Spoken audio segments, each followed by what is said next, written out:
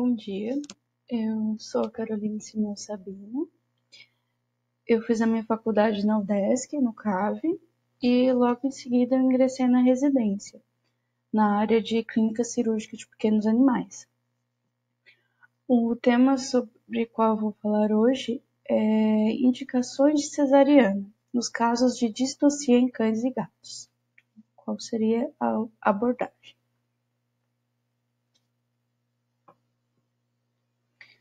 Estou dando uma introdução. Eu escolhi esse tema porque é um, um tema muito presente na rotina médica veterinária e também muito importante, principalmente para vocês estudantes que logo serão atuantes, poderão atuar em plantões ou até mesmo na rotina de clínica e pode, podem acabar ficando com algumas dúvidas, né? Será que eu já é, indico uma cesariana? Será que eu primeiro tento o tratamento clínico? Ou será que já é uma cesariana de emergência que tem que fazer o mais rápido possível?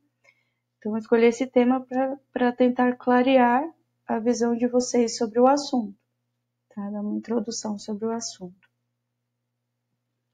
Para entender sobre distocia, nós precisamos entender sobre os mecanismos hormonais do parto eutóxico parto eutóxico é aquele parto natural, que vai ocorrer é, de maneira natural sem precisar de nenhum auxílio veterinário.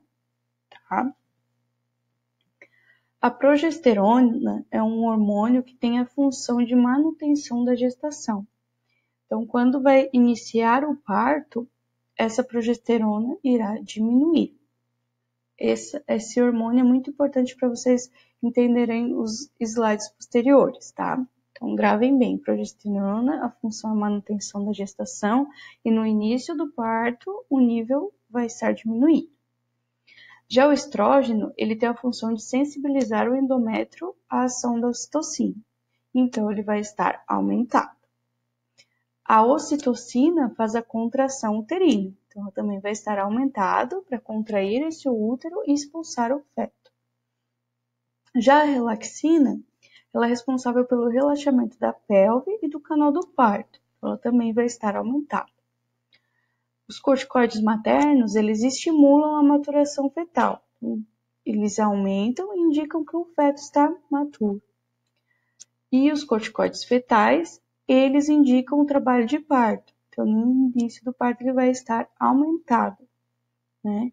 Então, quem estimula o início do parto é o feto que é, libera cortisol, né, os corticoides fetais, iniciando o, o, trabalho de parto, desencadeando o, o parto propriamente dito, tá? É, a prostaglandina, ela faz a destruição, destruição do corpo lúteo, então ela também vai estar aumentada. O parto eutóxico, né, como eu já expliquei, é aquele parto normal, parto natural, não precisa de nenhum auxílio, ele ocorre de maneira espontânea e ele, ele é composto por três fases, sendo que a primeira fase é a que ocorre mudança comportamental do animal. Então, isso você já pode descobrir através da anamnese, conversando com o tutor e perguntando se esse animal teve alguma mudança de comportamento, como por exemplo, eles começam a cavar, começam a preparar o ninho, eles procuram um local seguro, que eles se sentem seguro, um local calmo, sem muito barulho, sem muita interferência, tá? Além disso, eles perdem o apetite, então eles recusam a comida. As cadelas é, iniciam essa fase 24 horas após a diminuição da concentração sérica de progesterona, que foi o que eu comentei no primeiro slide, né? Então, a progesterona vai diminuir porque ela faz a manutenção da gestação. Então, alguns locais fazem é, esse controle da progesterona, né? Fazem a mensuração da concentração sérica de, de, de progesterona quando ela se encontra menor que 2 a 5 nanogramas por ml em cadelas, já quer dizer que em 24 horas vai iniciar a primeira fase do parto, que seria aquela fase com mudança comportamental, tá? É, e outra forma de mensurar seria através da temperatura retal, que vai estar menor do que 37,7 quando se inicia essa primeira fase do parto. Nas cadelas, essa fase tem uma duração de 12 a 24 horas. Já nas gatas, essa fase ela inicia 24 horas após os níveis de progesterona estarem abaixo de 2 nanogramas por ml. Tá? E essa duração varia de 4 a 24 horas. Tá?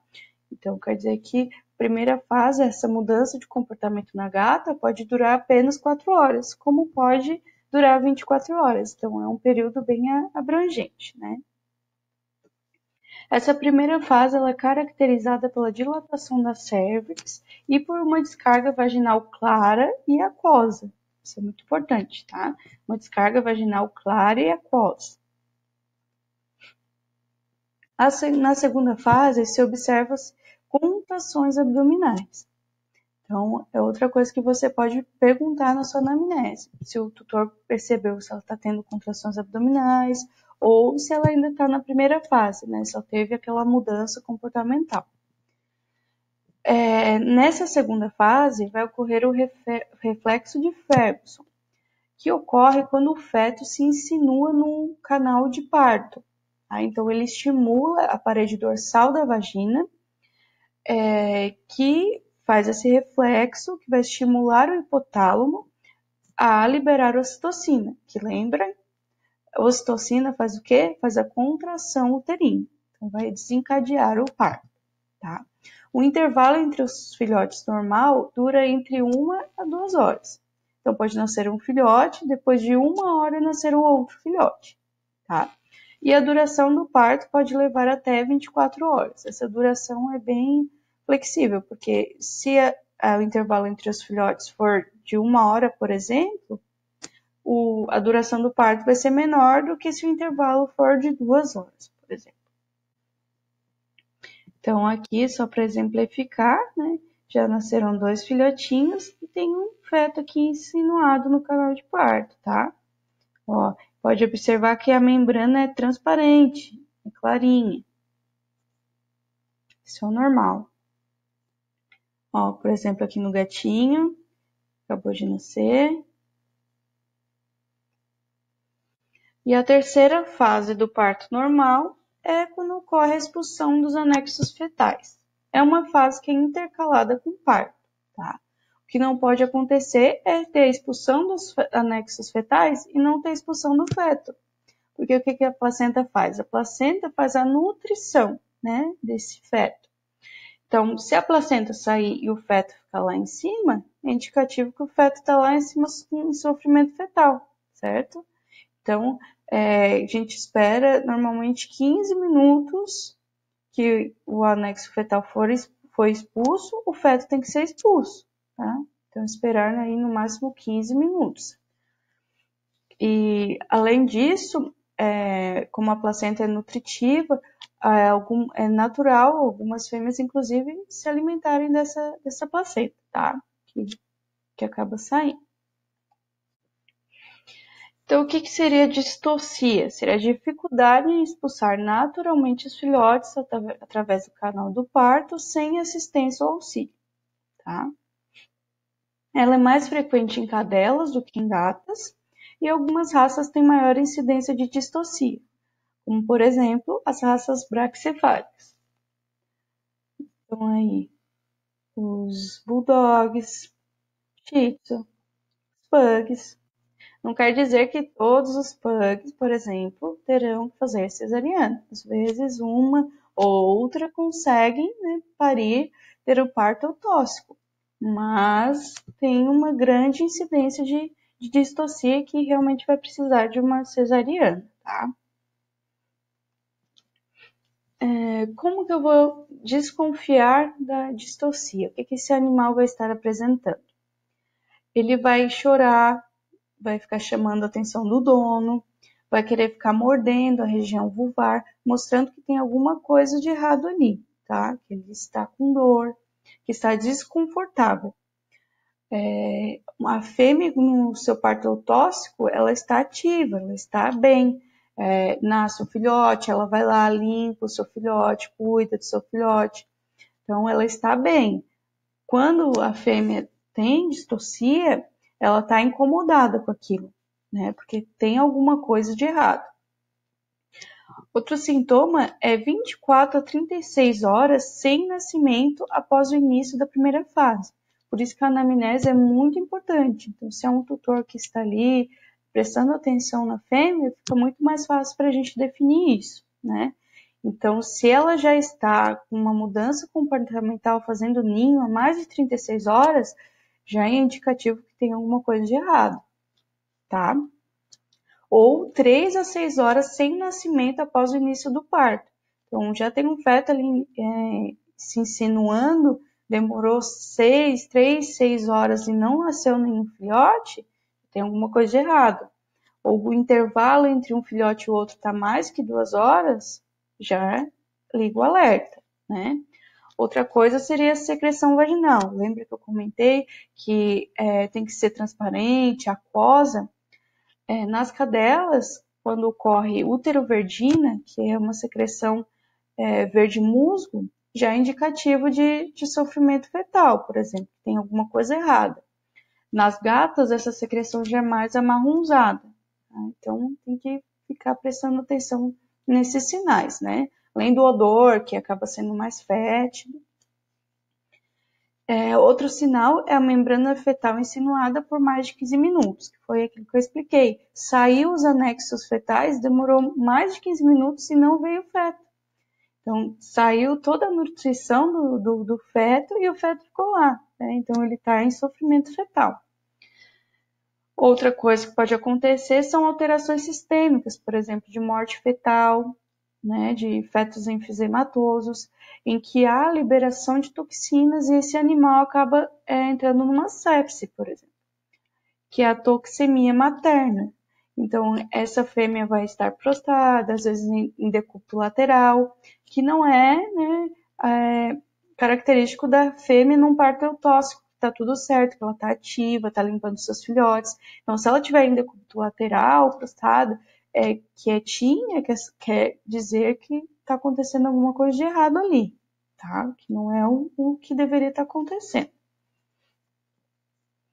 A distocia ela pode ser classificada como distocia materna, quando há alguma alteração relacionada à mãe, ou distocia fetal, quando é uma alteração relacionada ao feto. Tá? A distocia materna é quando ocorre, por exemplo, a inércia uterina primária completa ou incompleta, que eu vou explicar mais na frente, ou a inércia uterina secundária. Também quando ocorre um estreitamento do canal pélvico com dilatação insuficiente da via fetal mole ou dura. Então, tem alguma coisa ali que está obstruindo a passagem, tá? Quando ocorre, por exemplo, também a torção uterina, que o útero está torcido, então o feto também não consegue sair.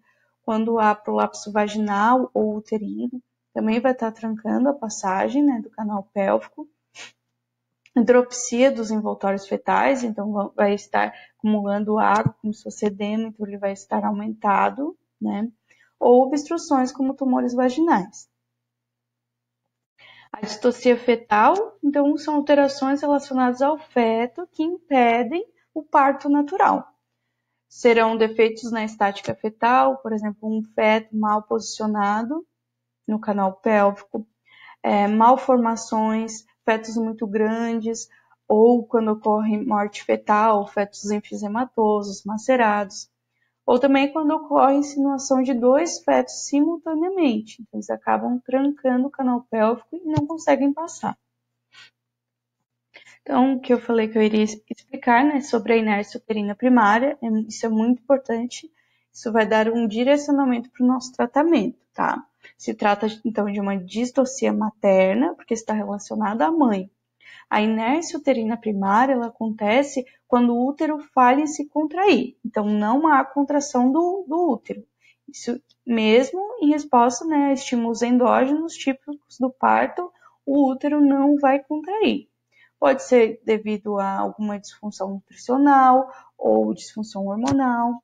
Por exemplo, o progestágeno ele age causando uma inércia uterina primária, tá? Então, por isso que, a, que o uso de progestágenos, né, os anticoncepcionais, aumentam a chance de ocorrer uma distocia, tá? Então, ele vai agir nessa etapa. Já a inércia uterina secundária, é, ocorre a exaustão do miométrio. Então, esse útero ele está contraindo, mas tem alguma coisa obstruindo esse canal. Então, o útero contrai, mas devido a causas obstrutivas do canal do parto, esse feto não consegue ser expulso, tá? Pode ser devido a dilatação insuficiente, tumores, fetos na via fetal ou uma distocia fetal intrauterina, tá? Essa diferenciação entre inércia uterina primária e secundária é bem importante na hora do, de escolher o, o seu tratamento, tá? Então, o seu diagnóstico vai ser baseado numa anamnese rigorosa, é muito importante, né? Principalmente aqueles tutores que são bem atenciosos, sabem quando que, que ocorreu a cópula, quando que é, foi o início da gestação, né? O tempo de gestação. Então, normal aí entre 58 e 68 dias. Então, isso é muito importante para a gente saber se já está realmente no final da gestação, se não está. É, perguntar para o tutor como é que está, teve mudança de comportamento, não teve, é, se o animal já está com contração abdominal, para poder direcionar. Então, esse animal tem contração abdominal, já está ali na segunda fase do parto, tá? Ou ele ainda está na mudança comportamental, não teve nenhuma contração ainda. Então, isso é bem, bem importante para direcionar o nosso tratamento, tá? Outra coisa que podemos avaliar é a temperatura retal, como foi dito anteriormente. Então, se a temperatura já está abaixo de 37,7 graus, é indicativo que já começou a primeira fase do parto. Além disso, fazer uma inspeção, uma palpação, um exame geral né, do, do animal. Isso é uma palpação, se sente, dá para fazer uma percussão abdominal, né, se tiver efeito enfisematoso, vai ter uma percussão timpânica, por exemplo. Então, é bem importante fazer a inspeção, é, avaliar a parte de vagina, de vulva, tá?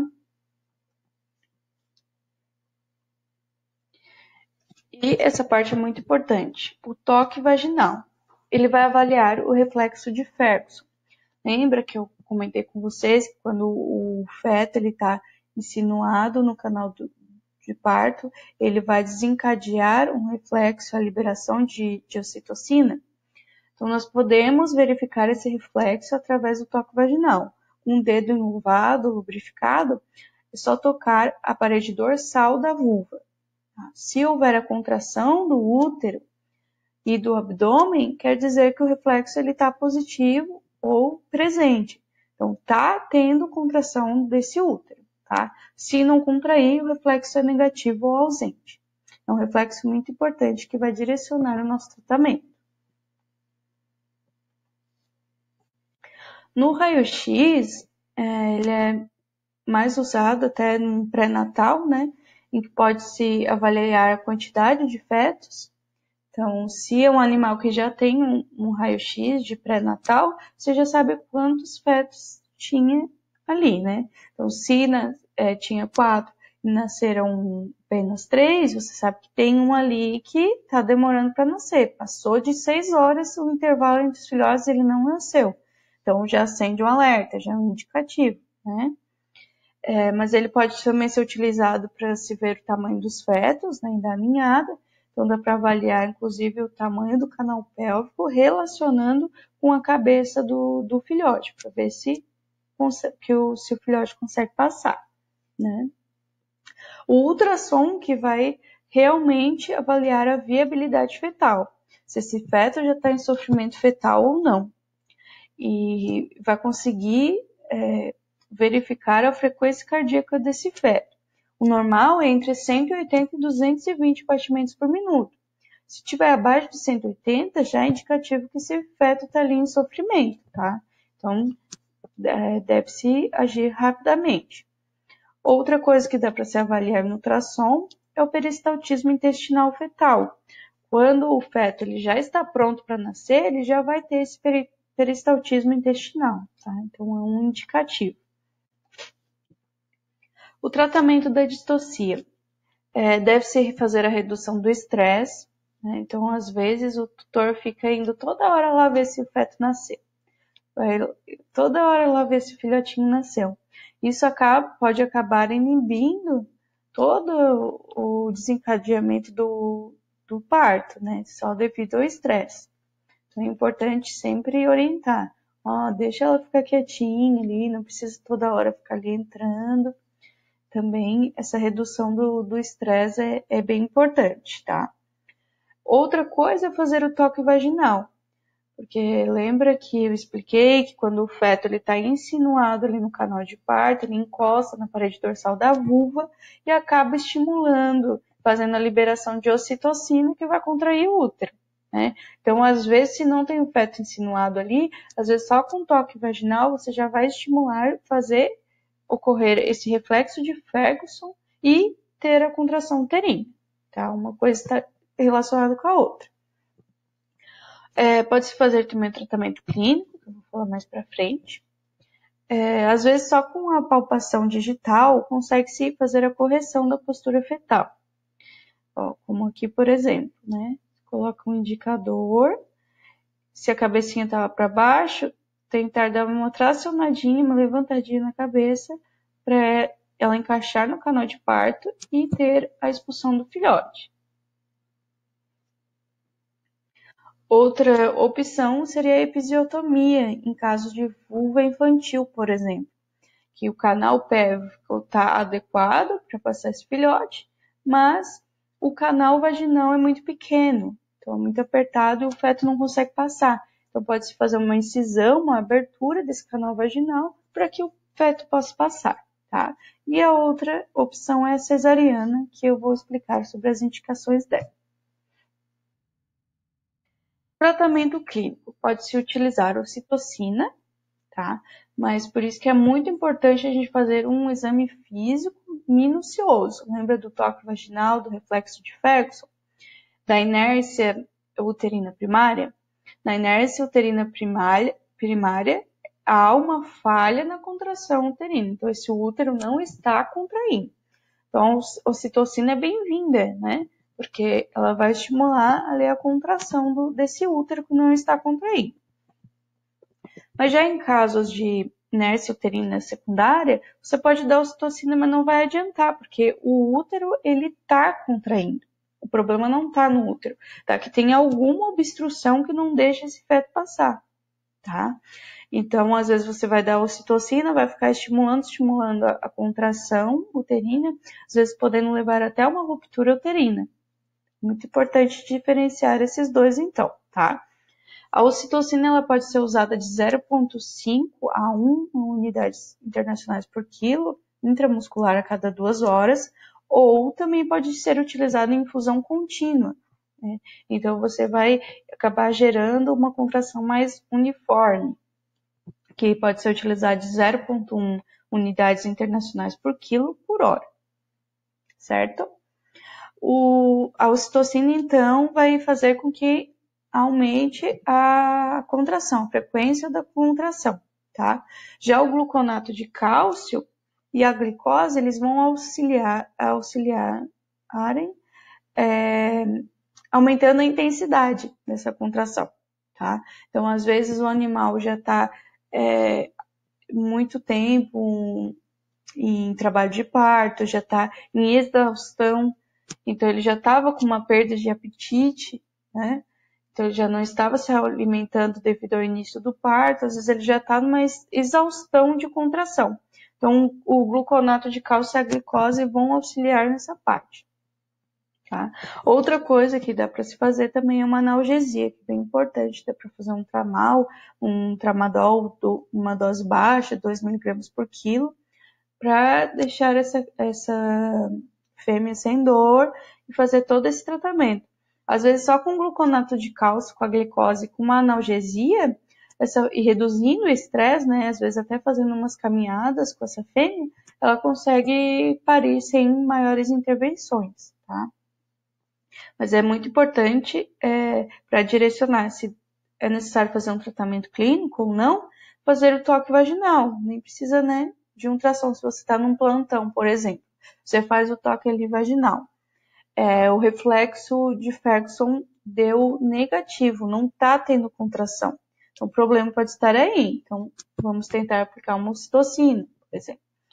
É, ah, fiz o toque vaginal, está tendo contração uterina. Então, onde que está o problema? Né? Então, é muito importante para direcionar esse tratamento. Outra coisa importante é que se a taxa de batimentos cardíacos fetais diminuir com a aplicação do cálcio ou da ocitocina, não é indicado novas aplicações. Tá? É, entrando nas indicações da cesariana, propriamente dito, então é indicado a cesariana quando tiver fetos grandes, mal posicionados ou mal formados, não vão passar no canal pélvico então não adianta ficar aplicando citocina, gluconato de cálcio, glicose que não vai passar, tá? Quando essa fêmea tem um tamanho reduzido do canal pélvico, também o filhote vai acabar não passando. Às vezes dá para fazer a mensuração no raio-x, né? Como eu comentei anteriormente, tamanho do canal pélvico com o tamanho da cabeça do, do filhote, para ver se dá para passar, né? é, em casos de inércia uterina primária não responsiva ao tratamento clínico, então é aquele útero que não está contraindo, você aplica ocitocina, aplica gluconato de cálcio, aplica glicose, e mesmo assim é, esse útero não consegue expulsar os filhotes. Então, indicada cesariana. E em inércia uterina secundária, é, já é indicado de cara a cesariana, né? Nem passar por um tratamento clínico, já é indicar a cesariana porque se trata de processos obstrutivos. Então, é alguma coisa obstruindo o canal de parto que não deixa esse filhote nascer. Então, já é indicado cesariana. Má consolidação de fraturas pélvicas, que vai diminuir o canal pélvico, então esse filhote não vai conseguir passar. Em casos de morte ou decomposição fetal, já é indicado cesariana. É, em casos com histórico de distocia, também, se o animal já teve distocia na, na cria é, anterior, provavelmente ele vai ter nessa, né, na próxima. Por isso que é, em caso de distocia que é feito cesariana, já é indicado fazer a castração junto, porque provavelmente na próxima prenhez ela vai ter distocia novamente. Claro que quando se trata de animais de, de reprodução, isso não acontece, né?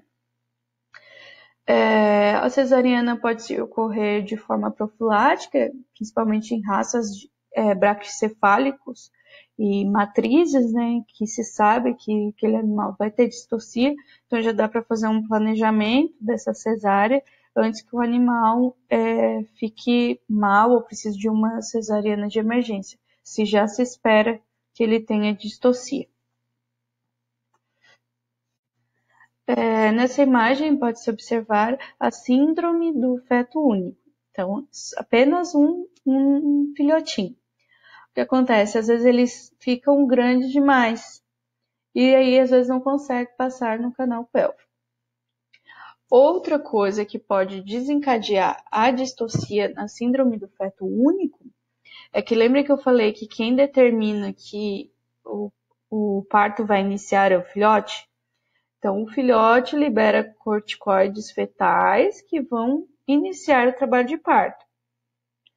Quando tem um feto único, esses níveis de cortisol, de corticoides que, que esse feto produz, pode ser baixo e não desencadear o, o início do parto. Tá? Então, pode ser uma das causas de ditocia. Às vezes nem é porque ele é grande, é porque ele produziu tão pouquinho é, corticoide fetal que não iniciou o trabalho de parto. Tá? É, outro caso é, seriam a hidropsia do, dos fetos, então ele vai ficar com um acúmulo de, de água, ele vai ficar edematoso e com isso, às vezes ele não vai passar no canal de parto. Outro problema, tumores vaginais. Então, às vezes o útero está contraindo, né? Tá tudo certo aqui.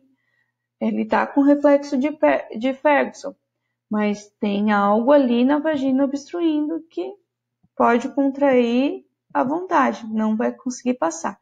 Então já é indicativo a cesariana. É, torções uterinas também, por exemplo, o útero pode estar tá contraindo, ter reflexo de Ferguson, mas o útero torcido não vai conseguir parir o filhote, tá? Então, o objetivo da cesariana é remover os fetos do útero o mais rápido possível. É, recomendações mais antigas indicavam fazer a incisão no corpo do útero. Já recomendações atuais, os últimos artigos, indicam fazer uma incisão na face dorsal do corno uterino. Tá? Isso porque toda incisão gera né, uma cicatriz que pode levar a uma estenose aqui do, do corpo uterino, fazendo com que numa próxima prenhez possa ter uma distocia devido a uma estenose do corpo uterino. Então, a indicação é escolher um, um corno, né, fazer uma incisão na face dorsal ampla, tá? Ampla para é, gerar menos trauma para esse útero na hora que estiver retirando os filhotes, também não muito amplo, né, no tamanho suficiente para a passagem dos filhotes. E os filhotes dos outros, do outro corno, ele é ordenhado até aquela incisão. Outra, outro detalhe seria é, fazer um des, descolamento delicado da placenta a placenta é aderida ao útero, né? Então, se você for bruto e puxar de qualquer jeito essa placenta, pode gerar uma hemorragia difusa é, intrauterina. Então, não vai ser uma artériazinha que você consegue lá pinçar, por exemplo, ligar. Vai ser uma hemorragia difusa. Então, é importante fazer esse descolamento da placenta no útero de forma delicada e retirando esse feto, é, essa placenta, para que não ocorra uma hemorragia difusa intrauterina, tá? Depois se faz uma sutura de víscera oca, né? Então, duas camadas. Pode ser um simples contínuo, seguido de uma invaginante, com fio de sutura absorvível. Tá? Então, como conclusão, é, às vezes você pode não ter ultrassom disponível na clínica naquele momento, às vezes está fazendo um plantão, mas com toque vaginal você já pode começar a direcionar o, o, seu tratamento. Claro que se tiver um ultrassom é muito melhor, porque ele consegue avaliar a viabilidade fetal, é, é, conferir os batimentos cardíacos, é, se o se feto já está em sofrimento fetal mas o reflexo de Ferguson ele já vai conseguir te dar um direcionamento para o seu tratamento, tá? Então, ah, o reflexo de Ferguson está positivo ou está negativo? Está né? Tá ausente ou está presente? É, e a outra questão seria ter uma equipe treinada, né? Se você for fazer uma cesariana, você precisa de outra pessoa para cuidar dos filhotes, por exemplo, enquanto você está fazendo ali a, a cesariana. Muito importante, né, fazer os cuidados neonatais. Então, depois que é retirado esse filhote do útero, tem que limpar bem, secar bem esse filhote, fazer o aquecimento, né, desobstruir as vias aéreas, pode ser com uma canoazinha com aspirador, por exemplo, uma sondinha, coloca no nariz, na boquinha, desobstrui as vias aéreas, limpa bem, estimula, né, como se fosse a cadela ou a gatinha lambendo de baixo para cima, limpa, seca bem esse filhote, faz esse aquecimento desse filhote e acabou a cirurgia já colocar esses filhotes para mamarem, né? Para ingerirem o, o colostro. É muito importante. Não perder tempo já colocar os filhotes para mamar. Com as gatinhas a mesma coisa, a gatinha tá ali acordando, já colocar os filhotinhos para mamar. Mais filhotinhos. Cesariana é uma cirurgia muito, muito fofa, né? Todo mundo quer ficar cuidando dos filhotinhos. Eu queria agradecer a atenção de todos. É, a palavra-chave dessa palestra são filhotes. Podem colocar lá, a palavra-chave é filhotes, para vocês conseguirem fazer a inscrição da palestra. e ganharem o certificado.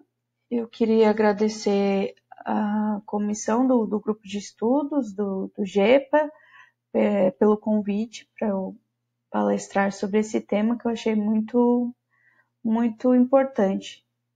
Né? E qualquer dúvida, estou disponível, podem me chamar no, no direct, meu Instagram é Carol Simeão, ou se quiserem me mandar um e-mail, pode me mandar se tiverem alguma dúvida, que estou aberta a perguntas, tá bom? Obrigada, tchau.